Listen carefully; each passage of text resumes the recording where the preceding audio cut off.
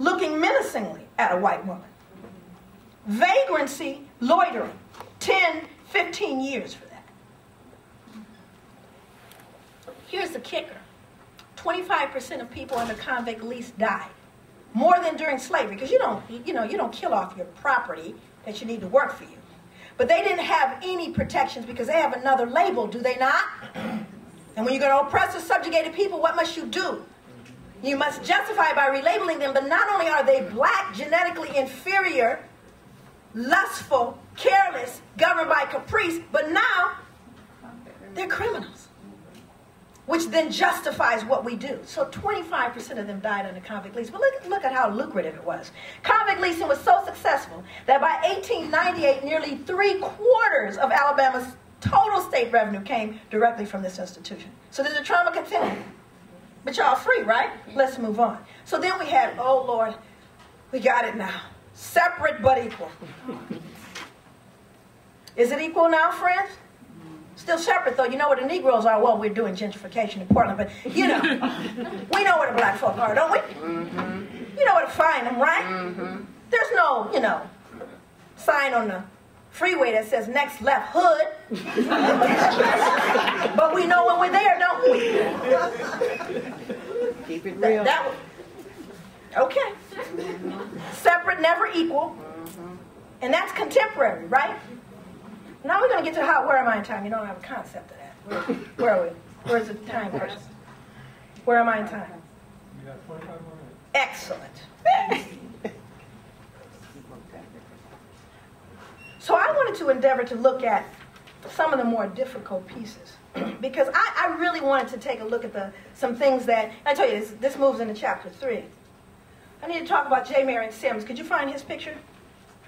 J. Marion. Yes, he came earlier. You'll, you'll find it. He cleans up nice. J. Marion Sims, let me tell you a little bit about Jay. How many people, you know him, you know. There are huge statues edifices for this man. Great thing. How many people in the room know what a vaginal speculum is? For those young men or men in the room that we've lost you there, what a vaginal speculum is, it's an instrument that was created to open up the vagina so folks can kind of peer in. Now, J. Marion Sims is the individual credited with that creation, and he is touted as being the wealthiest physician to have ever lived. J. Marion Sims was a physician in the mid-1800s, credited with the creation of the first vaginal speculum, which he made from a pewter spoon. Sims had built a makeshift hospital in his backyard where he conducted surgical experiments on unanesthetized African slave women. Sims reasoned that slave women were able to bear great pain because their race made them more durable, and thus they were well suited for painful medical experimentation. So this is someone who took an oath to do no harm. And he cut into black women without any anesthesia. Mm. Now let me kind of get close with you around why this becomes very important. J. Marion Sims becomes very important because the first question I asked was, first of all, where do all the women come from? How did he get them? And what the problem was is they would, it would be said that these women um, were not fit for duty by their slave masters. And here's why they weren't fit for duty. Many of the women suffered from what was called a fistula. An obstetric fistula is the breakdown of tissue in the vaginal wall frequently as a result of childbirth, which affects the bladder and or the rectum. The disorder causes leakage of urine and feces into the vagina, which made for a smelly and humiliating existence for the women. However, this condition did not preclude these slave women from participating in their daily work on the plantation, such as picking cotton, house cleaning, cooking, etc. So what duty were the women then unfit for? The obvious answer is that while black slave women were required to do manual labor alongside their black male counterparts, one of their other inescapable duties was to sexually serve their slave masters. Their malodorous condition made them less sexually desirable, and thus they were unfit for duty. So you need to clean them up, Marion Sims, so we can do them. But what's more important about this is how we justify. Remember, in order to oppress or subjugate, you have to justify that behavior. But it wasn't only the women that suffered under his reign. Could you show the all, please? Slave women were not the only group to suffer. Black infants represent the most innocent of Sim's victims. Black infants suffered from what he termed trismus nascentium, now commonly referred to as neonatal tetanus. Tetanus originates in horse manure. The likely cause of the disease, enslaved infants, given their living condition and their proximity to animal stables. Sims attributed the condition to the indecency and intellectual flaws of the black slaves together with skull malformations at birth. Sims attempted to treat this malady by trying to pry the bones in the skulls of the tiny infants into alignment with a shoemaker's awl. I was careful to find one from the 1800s. He would stick that into the brain and the skulls of black infants at birth in an effort to realign their skulls because of the indecency of their parents. He is worshipped in this medical world. J. Marion Sims. But I was more curious about how a physician could do such a thing. And here's how you do it. You pathologize the people. Now, let me read what they said about black women, because it gets real specific, black women. Their first pathological symptom was their skin color. In a medical world that categorized life as either normal or pathological, people of the African diaspora were continually condemned to the category of pathological. Their abnormal skin serving as a foil for normal white skin. Stay with me. The skin, if you see black people, it, the problem is, is the skin itself is pathological because it's actually a foil over normal white skin. This is what medical journals, journals suggested. Now we're going to find out how they named it. Medical tradition has a long history of perceiving this skin color as a form of pathology. The favorite theory, which reappears with some frequency in the early 19th century, is that the skin color and attendant physiognomy of the black, here's the reason why y'all black, is because of congenital leprosy. This is why there's so many of us. We all have congenital leprosy. Now, we have a second symptom. The second symptom of pathology was gender. Black females were perceived to be irreligious, lustful, and immoderate. Well, that's convenient, isn't it? Let's take a look at that. We need to really take a look at this one because I have a whole chapter on rape. I'm not, can't even get close to what that did to me. There were over, and this is, comes out of a social work book. In a social work book, it states that there were over 600,000 mixed race babies born in the mid 1800s based on the census. Now, this was during miscegenation. That means it's illegal to marry. So, who was sneaking out back and who was raping whom? We have numbers. Young girls rarely made it to their teens before they were raped. But let's put that in perspective as a social scientist. Now, I want to get into that, to that, the fact that we were lustful, because then you see it's their fault, isn't it? Surely I raped them, but didn't they deserve it? Now we need evidence of how we know they're lustful and immoderate and immoral. Here we go. Their protruding buttocks and genitals were offered as physical evidence of their pathology. Anybody up there with a big butt? Anybody with a big butt out there? there you have it, you slut.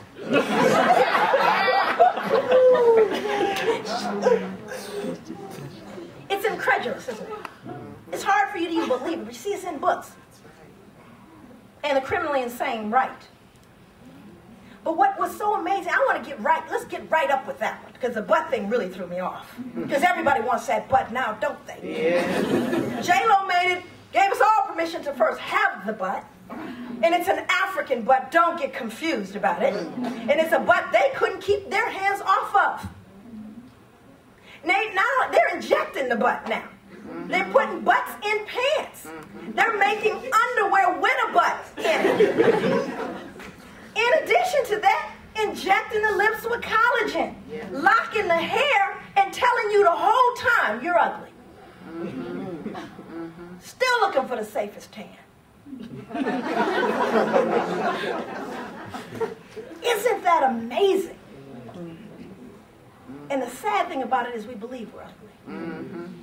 Case in point, 2006. Oh yeah, she was cute. She had good hair. Mm. yeah, she had good hair.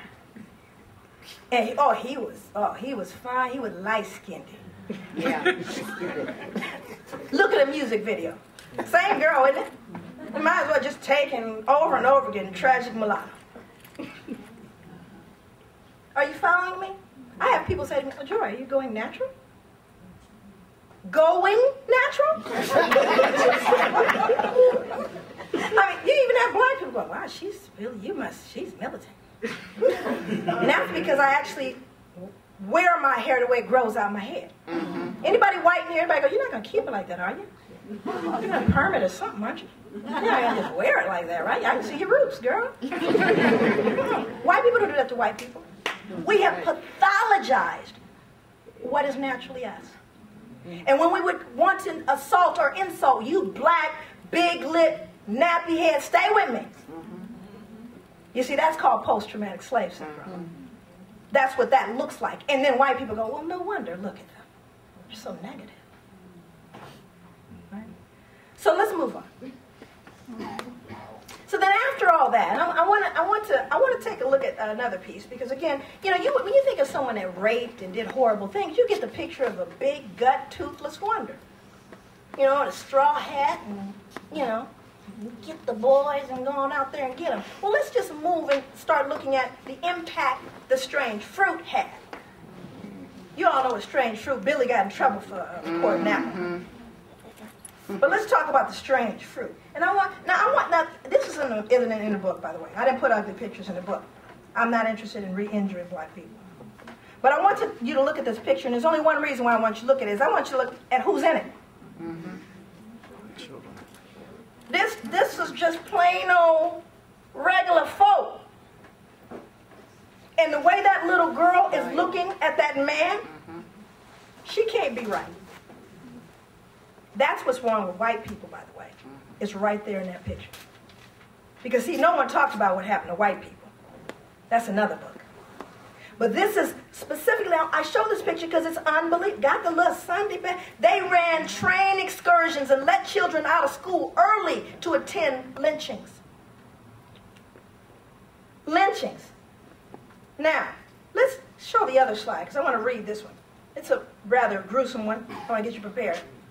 But I want to read from this one so you can understand what they did at the lynchings. If you want to know the reference to this, you can. I have a, I have a reading list in my book. In addition to that, you can go on site on my line online with my uh, my website joyleary.com, and it'll give you some suggested readings. The name of the book uh, that I would suggest are two. One is called "100 Years of Lynching." They're all newspaper accounts. That's by Ginzburg. "100 Years of Lynching." No pictures. This one is a, a, famous picture that you will find in a variety of places, but one of them is called Without Sanctuary, recently published, uh, which is a pictorial. And now what I'm doing is I'm going to read from the newspaper account. Before the torch was applied, the Negro was deprived of his ears, finger, and fingers and genital parts of his body. He pleaded pitifully for his life while the mutilation was going on, but stood the ordeal of fire with surprising fortitude. Before the body was cool, it was cut to pieces, the bones were crushed into small bits, and even the tree upon which the wretch met his fate was torn up and disposed of as souvenirs. The Negro's heart was cut into several pieces, as was also his liver. Those unable to obtain the ghastly relics direct paid their more fortunate possessors extravagant sums for them.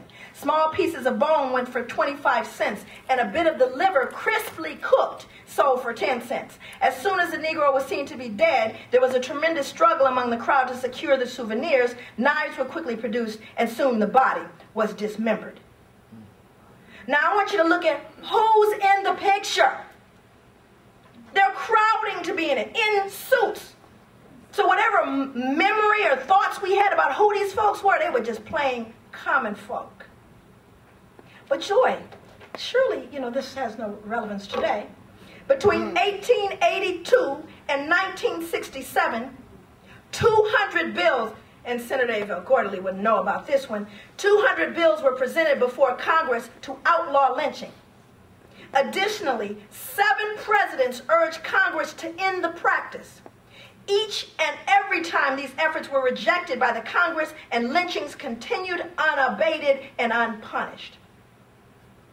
It was not until 2005 that the U.S. Senate offered an apology for what it termed domestic terrorism against mostly black people. And even then, folks wouldn't sign on it. Mm-hmm. So did the trauma continue? Boy, we're an amazing people. We're an amazing people. But we don't know who we are. And you cannot heal what you don't understand. We can't heal it if we won't look at it. So how does it manifest itself? Very quickly, let me go through some of my research because I'm going to give you some examples of it. Um, there's a chart, and uh, I did work specifically on African American male youth violence. I didn't want to look at violence, by the way. What I really wanted to look at was something I term in the book vacant esteem, one of the symptoms of post-traumatic slave syndrome. Vacant esteem should not be somehow confused with low self-esteem. Low self-esteem is when you can't do as many chin-ups as maybe your sister or your brother. I'm not talking about that. And I don't think esteem should be measured in terms of low and high because there are people with perfectly high self-esteem that are assholes. And you have to go to meetings with them don't you? but they have high self-esteem. They ain't right though. So I think esteem, esteem should be measured in terms of accurate esteem. It's accurate esteem. Do you have a, an assessment of yourself that is appropriate? Not high or low, accurate, and healthy. So these are things I looked at. I don't want to look at this. I told you, I don't want to look at violence. Why? Because my committee told me that uh, vacant esteem wasn't a social problem. Clearly. Uh, that's not a social problem. A social problem, let me define it. Remember my graduate work. A social problem is a social problem, can be defined as a social problem if a significant number of people believe that it is a social problem. Or significant persons believe it is a social problem. And we didn't qualify for either of those, not black people. But let me tell you why I wanted to look at self-esteem. I wanted to look at self-esteem because my first work was with children. I saw things happening with black children that bothered me, disturbed me. Aside from the good hair, bad hair, and all the other ugly, negative black epithets that we would throw at one another that I heard in contemporary world around me, I was concerned about what I saw happening to the hearts and minds of little black children. And one of the things that I started to notice happened directly after I had come from South Africa in 1994. I went to South Africa on the heels of the inauguration of Nelson Mandela. And it was a tough time in the country.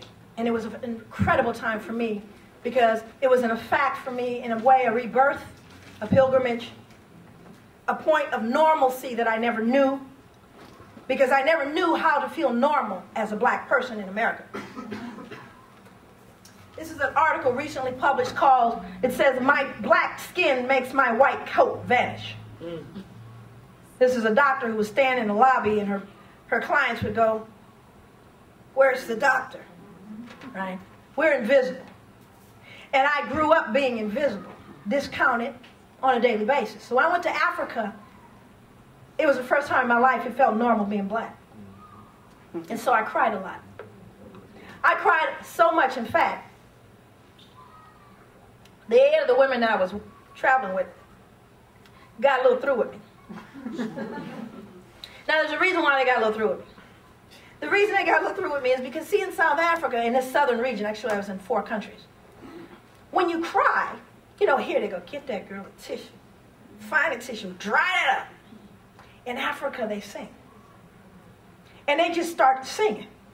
Four-part harmony and breaking it off, right? And the whole room would just be singing until I stopped crying. And this was profound. The Queen of Lesotho had her royal choir come and sing to this group of nine African American women who were professionals traveling throughout the southern region. And this was really good and emotional, except there's a little catch. After they finished singing, they asked us to offer a few songs.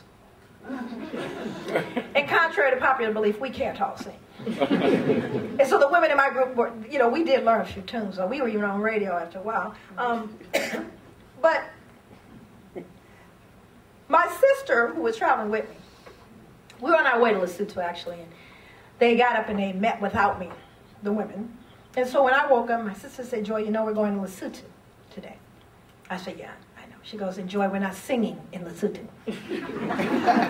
so whatever you need to do, Joy, to get your little stuff together, we need you to do that because we're not singing in Lesotho. so I said, I'm good. I'm good. I, hey, I got it. Holding it down. So we all go to Lesotho, and when they have this meeting, the meeting is actually larger than this room, and people are coming from all over. We got people coming from villages, people coming from uh, the, the government, everybody is coming to greet these nine African American women. So we're sitting on the stage, and of course, things have to be translated. So the guy who's translating, he is actually a descendant of slaves that were enslaved by the Dutch in a place called Umfravot in South Africa. and Umfravot means the unexpected in Afrikaans. They were left to die after apartheid ended. But this man had gone back to learn the tribal languages. So he, each one of us would get up and he translate. So I got up. I was the first one. My whole, all the women were looking at me glaring like, you gotta keep it together. so I got up there. I was good. I said, my name is Joy um, and I'm traveling with, you know, and we're trying to build a corridor of relationship with our African sisters. And I sat on down. I thought I did good. My sister, like, thumbs up. Everything's good. Translator gets up, starts translating. Then he starts going on and on and on and on and on. And people start chanting. And just, you know, so my sister looked at me so I leaned over, I said, uh, what you what you say? He goes, I told him what you said. I said, I didn't say all that. he said, oh, what had happened was, no, he said, well, when I, I got to the part where I, you said you were African American, some of the people from remote villages got confused because they thought all Americans were white. So then I had to explain to them that you were the descendants of the ones that had been stolen away. And they were saying to you, welcome home. So, you know, everybody was singing. Because I was crying. I was telling My sister looks at me. So everybody's on their feet singing. I'm tore up, sup, sup, in the corner. So this black woman who was in the corner of the room walks all the way towards me, grabs me by the hand and said, did you think we would forget you? I am from Lesotho, and Lesotho is my home. If I leave Lesotho, Lesotho is still my home. If I leave Lesotho for 15 years, Lesotho is still my home. We mourned Malcolm and Martin with you. We are so, so very proud of you. You are African 300 years from home. We just wondered when you were coming back. Mm-hmm. And then I realized how much of me had been taken from me. So when I came home, I was a little depressed. To Portland, to the hood. All right. I was living on Ninth, which is no longer the hood. but uh, I was living on Ninth, and I, you know, folks were calling to see if I was coming out. They was worried. People on the trip called, "What's wrong with her? She ain't out." So finally, one day I had to come out because my daughter ran in. She goes, Mom, there's a little boy outside. He said he gonna beat up Nadim, that's her brother, and he gonna pee on the car too. Which, as you know, could happen in the hood. so I had to go outside. So I go outside to find a crew of young black boys standing. Ain't nobody over 10. My son trying to hold his own, but he's scared. I walk right over to the little ringleader. And I said, has my son done something that I need to know about? Yeah, I want to know if he got some kind of eyeball problem. Now, I speak Ebonics and that, that kind of went, what did you say? I want to know if he got some kind of eyeball problem. What he's staring at. I'm thinking to myself, wait a minute, you want to beat my son up because he was looking at you? Now, I want you to contrast that because in Africa, when they talk to you, when they would, you know how, this is what black folks do. Everyone.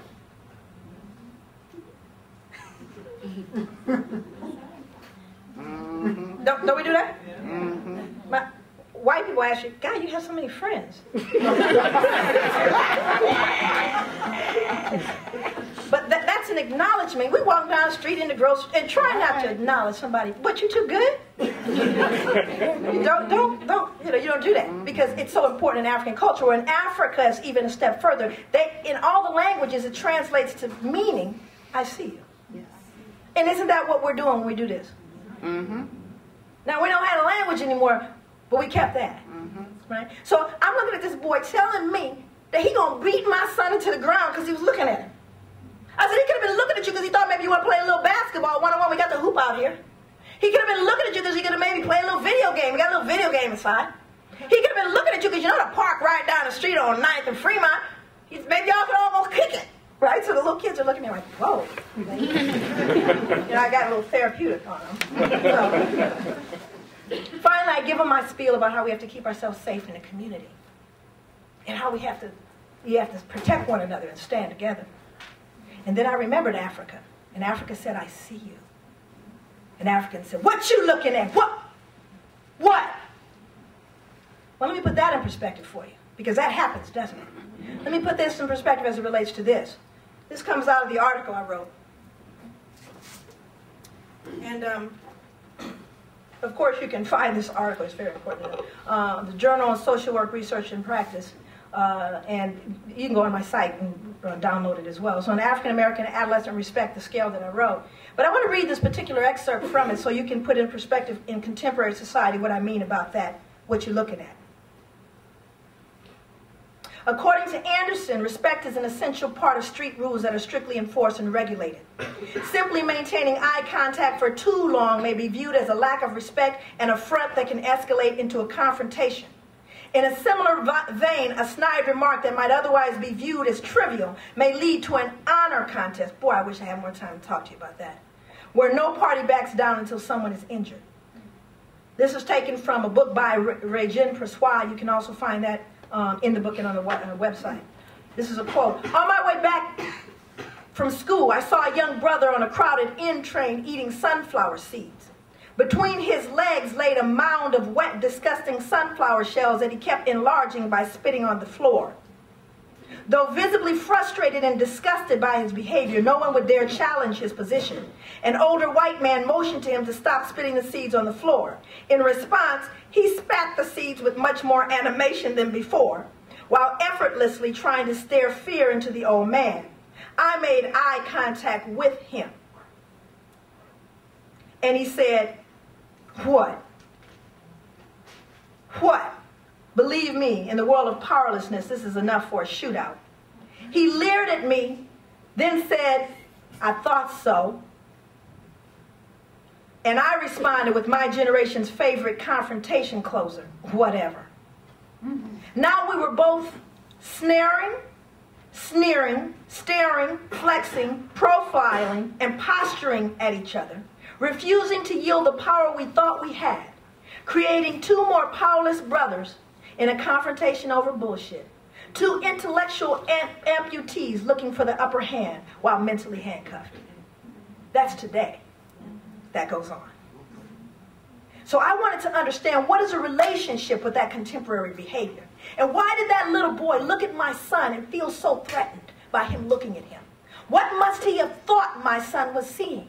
Because based on what we know about Erikson's model of development, what we know about Piaget, what we understand about human development, is that I attain to my self concept based upon the appraisal of significant others in my life. So I am not who I think I am, and I am not who you think I am. I am who I think that you think that I am. So, what did he think my son believed about him? What did he see peering back at him? He saw peering back what he hated in himself, and he was 10 years old. And I said, What has happened to this little boy that he cannot withstand a gaze? That he so hates the reflection in the mirror that he would destroy my son to destroy the image. That is post traumatic slave syndrome. That's why I endeavored to look, and I didn't want to look at violence. I wanted to look at the internalized violence but that wasn't a social problem. So then I looked at young men that hurt each other. So first on the left-hand side, you have stress variables. The first two variables are what we call baseline variables, violence witnessing and violence victimization. On the right-hand side, you have the dependent variable. In other words, I'm trying to predict this and that is use of violence. I'm trying to see what the other variables have to do with the use of violence. So now those two baseline variables we already know produce violence. When people witness violence or experience being hurt, they are more likely to be violent. Fundamental basis baseline. The variable at the end is called daily urban habits. Now, this was written by a black man, this scale. Sometimes, how many people have heard of a stress inventory? Mm. Basically, they say if you move, you get some points. You get divorced, the dog dies, anything, you get points. And we should have black on there, huh? because being black creates a stressor, does it not? Now, I want you to know, being black and living in this skin, we've normalized the stress. Haven't we? It happens so often, and they wonder why you act up when you get to the office. Because by the time you get to the office, you will have been assaulted so many times before you got there. You know, the person that somehow you're standing in front of them, but you're invisible to. By the time you get to work, the person that's sitting right next to you that doesn't say hello to you. you know, because that happens every time. You, are invisible at work. We all, all black people are invisible at, at white environments for a number of reasons. I don't have time to talk about that. But one of them is, in African culture, this is what we always do. And you know what? If I see you this morning, I see you later on, I'm going to do that again. Because it's something we do. And you have people where greeting is perfunctory, so they'll look at you and keep going. Standing right next to you. Or they'll go, excuse me, can you get me those papers? What black people going to say? Uh, hello? Good morning? Good afternoon? Right? Oh, well, hi. Could you get me those papers? Right? Because we have a very different experience living here in America. But one of the things that I understand is not respecting a person and the idea of the stressors associated with being black, putting electrodes on a black man when a police car drives up behind him. Let's measure that stress. I, two books, I have to name these because I'm not going to have time to talk to, to talk about them. You must get, uh, after you get mine. One is called Breaking Rank. Norm Stamper, 34-year police veteran, chief of police for Seattle, retired, chief of police for San Diego, retired, wrote a book called Breaking Rank, has a chapter entitled Why White Cops Kill Black Men. Whole chapter. He told on everybody. And when he broke rank, he took folks down. He took them down. I don't know what happened to this man, but he started telling the truth. I, there is a slide you have to show. And that is the one where it says, oh, you got it up there. Yeah, sorry. I'm sorry, I didn't see it. He said, I've heard some police officers refer to prostitute slayings or to the slayings of blacks as misdemeanor murders, employing an unofficial code for this, NHI, no human involved. San Diego cops confessed to a myriad other acts of discriminating, including additional dehumanizing references to black on a radio call just at 1113 nigger, 1113 being a code for an injured animal, followed by, uh, what is that, a descriptor dog, cat, skunk. It was a pernicious form of discriminating injected with a large dose of misogyny that led to the labeling of the lone female officer in my academy class as a split tail, speculated it had something to do with a woman's vagina. This man goes on to give statistics on how many police officers in every police department across the United States are predators and saying that if you have a mother, a sister, a wife, a daughter, you should be afraid. Hmm. For them because they become police officers to prey on women. He told. Now, I got to tell you, the man lives in a cabin on a mountain somewhere in the San Juans. So he knew it was going to happen. This is a situation where, again, I'm not going to have time to cover that, but let me move on and move back to the, uh, the violence scale. Uh, very good book, very important. I think black folks should keep it on the dash of the car. Because you may, they may say we're paranoid, but folks are following us according to the data there. Another book you need to read, All God's Children. Fox Butterfield wrote the book. Fox Butterfield talked about violence. And here you find out who pushed whom first. Perfect representation, post-traumatic slave syndrome, if you want to see it in the life of a gentleman. Um, that actually was the reason why we started trying youth as adults.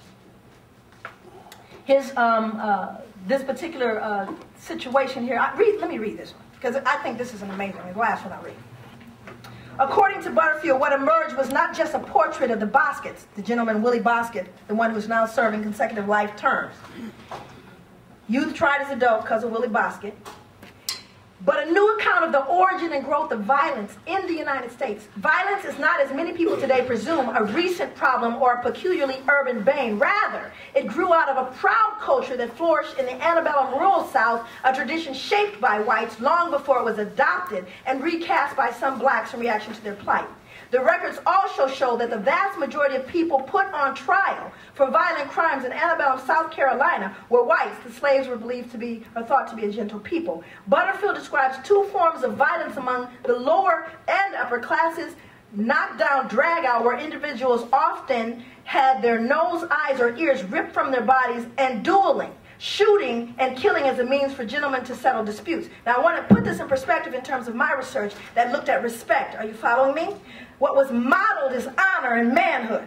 How does a 16 year old black male in America get respect?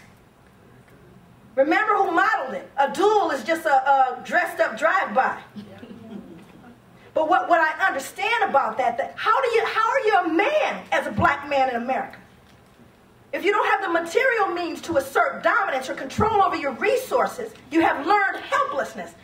Research tells us that too. Or you have hyper masculinity where I've got, I've got to assert my manhood somewhere and somehow. So I'll strike fear in you. Survival, adaptation. Adaptation. How do you learn to survive and adapt in a hostile environment? That's what black people have done all this time. And sometimes we heal crooked.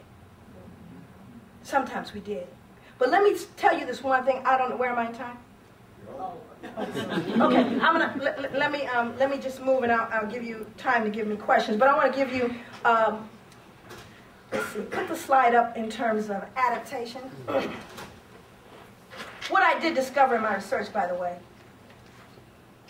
is that all my hypotheses correct. The more urban hassles, more violence, more victimization, more violence, more witnessing, more violence. Racial socialization, middle variable, written by Stevenson, Howard Stevenson out of Penn State, black man. He said, this is a resiliency factor, so pay attention to this. He suggested racial socialization as an important way of measuring how black people cope and adapt. Well, what is racial socialization? You help black children, black men, women know that you're walking out on a racially charged battlefield, but you give them armor. I'm going to tell you, you don't have to be worried. You don't have to trust what my high school counselor told me, which was that I wasn't college material. Don't trust that. But you know what? We got your back. You got a God. You got mama, daddy, big mama, big daddy. We here for you. And guess what? You're not a descendant of slaves after all. You're a descendant of captured free men and women. And you know what? It's going to be all right because joy comes in the morning. And we found out that the way you socialize a black child, you have less violence. I look right here at Portland. 200 African American males, 100 incarcerated, 100 were not. Some of them were in the Rites of Passage program. People know Kevin Fuller. Mm-hmm. Yeah, I used that as a control group, and I used a hundred of them that were incarcerated, and found out that those who were racially socialized were less likely to be violent. But more important was what I discovered about respect.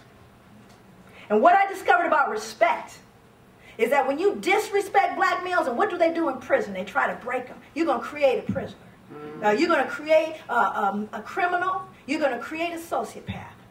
Because if you disrespect him, you're going to have more violence. And guess what? I put all the variables, multiple regression, stepwise remember, uh, uh, regression analysis. So I wanted to look at all the variables and how they behaved and performed. Highest, greatest predictors of violence.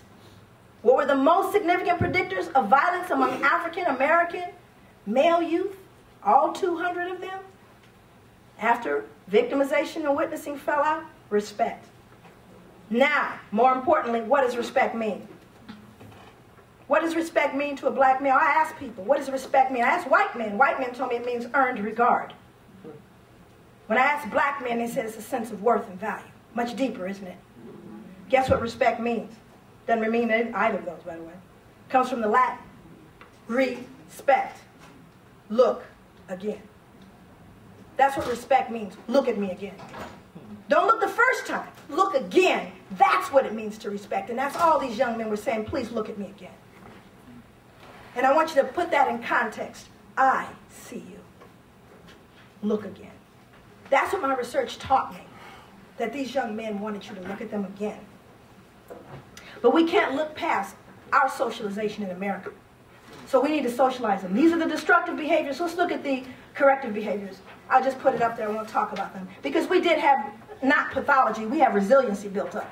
These are the things we've used through the, uh, through the years, and I've broken them down from Ma'afa all the way to current status, the things. And I want to note for you that during Katrina, During Katrina, after we all little was done, they implied, employed the very same methods to wrap you in so that you would go to sleep, to subjugate and oppress.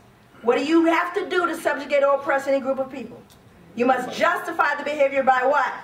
Relabeling them, and after all, they're just looters and rapists. Mm-hmm. Then they wrap you in that and go black. Mm-hmm. More died after that. I've been, uh, you know, I've been in the Ninth Ward. My family's from Louisiana, but they aren't even telling you the number that died after Katrina. They don't even tell you about it because they've already convinced you they're bad people, even here in Portland, in Dallas, everywhere. We've relabeled them so everybody can wrap themselves in that. So we do have positive behaviors. Um, we do understand once we look at some of these uh, behaviors around how we look at each other, how our attitudes, um, we can in fact turn them around, but you can't change what you don't know. The book is full of those. I certainly didn't have enough time in this in this uh, in this day to share it. Uh, I don't do justice to what the book does because it does go in great depth. Uh, chapter 6, which is a chapter on healing, the reason I wrote the book. Note the title, Post-Traumatic Slave Syndrome, America's Legacy of Enduring Injury and Healing. We can heal. Imagine we've come this far with no help. Imagine how much more we can do if we understand it. And we can start changing it. Thank you very much.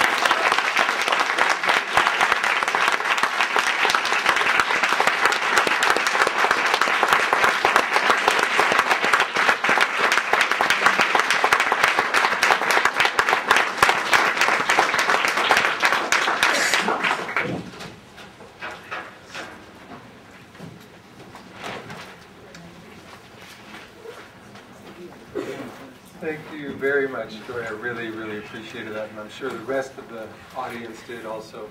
Um, I'm really, I'm just kind of bowled over. That really, really impacted me, and um, I don't really know where to start. So what I, I would like, we don't have any time. We were supposed to end at 1.30, but I just was not going to uh, interrupt her.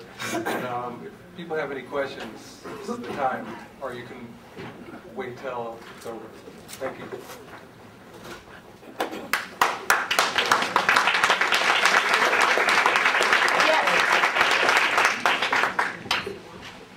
Uh, in comparison, when you talk about Katrina, first thing that I, I, when I heard about Katrina, the first thing I thought about was Vanport.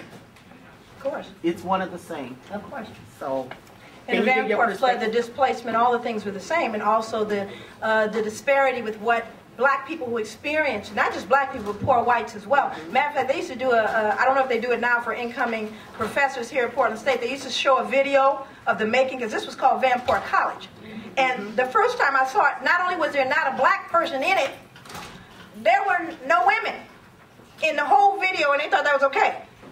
So I complained a lot and brought pictures and gave it to them. So anyone that's seen it, I don't know if they've added black folks in there. But when I first got, you know, came into the program, there were no black people apparently. But there were poor blacks and whites in Vanport, that place called Vanport. And the flood killed far more than what the newspaper accounts said, based on the accounts of the people themselves, right? So you still had that. And then you had, again, further displacement and again displaced again.